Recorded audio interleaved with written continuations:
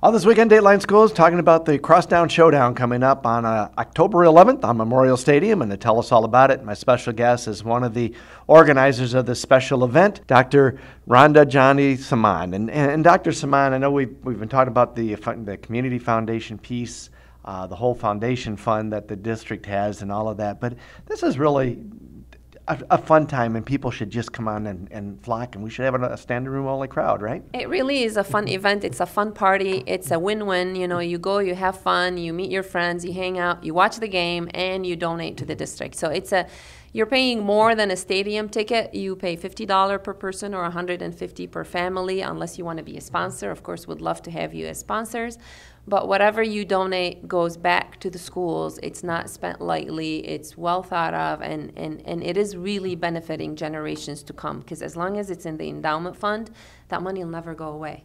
So your money keeps generating every year. So it's not like you give us $100 and we spend it. so yes, we would love you to be part of the party. How, how can people get tickets? What do they need to do to register? So you can call the district. Keely Baraboo there can sell you tickets. I can sell you tickets. You can call the Community Foundation. They can sell you tickets. There will be a link online uh, shortly, hopefully sometime this week, to actually pay online, and then we mail you the ticket.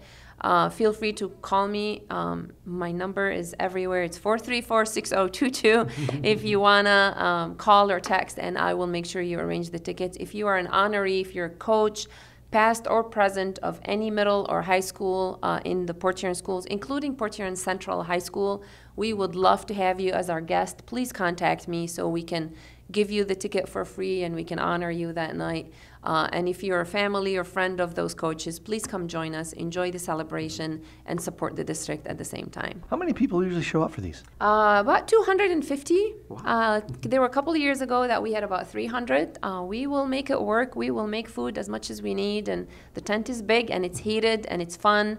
Uh, and we have a special section of bleachers that's just for us at the north north end. Um, so yeah, the more the merrier. For Dateline Schools, I'm Terry Harrington. Dateline Schools is a production of St. Clair County RESA.